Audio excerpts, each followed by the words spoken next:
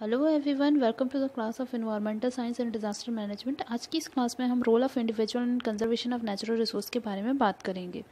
इसका अर्थ होता है प्रत्येक व्यक्ति का नेचुरल रिसोर्स के कंजर्वेशन में क्या भूमिका होनी चाहिए।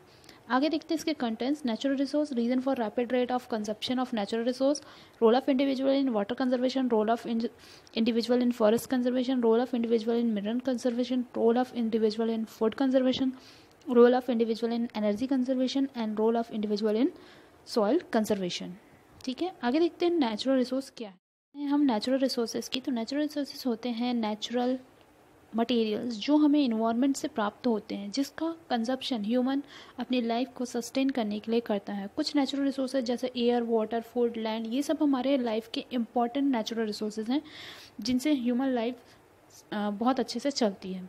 इसके लेकिन नेचुरल रिसोर्सेज के ज़रूरत से ज़्यादा यूज़ करने से, उसका एक्सप्लाइटेशन करने से क्या होते जा रहा है? वो डिप्लीट होते जाता है, यानी डिक्रीज़ होते जा रहा है। ठीक है? अब बात करते हैं हम reason for rapid rate of consumption of natural resource इसके दो कारण होते हैं। पहला पॉपुलेशन इंक्रीज और दूसरा होता है इंडस्ट्रियल रेवोल्यूशन जैसे जैसे पॉपुलेशन इंक्रीज होती जा रही है ह्यूमन की नीड्स भी बढ़ती जा रही है। दैट मीन्स वो नेचुरल रिसोर्स को और ज़्यादा क्या करते जा रहा है? यूज़ करते जा रहा है।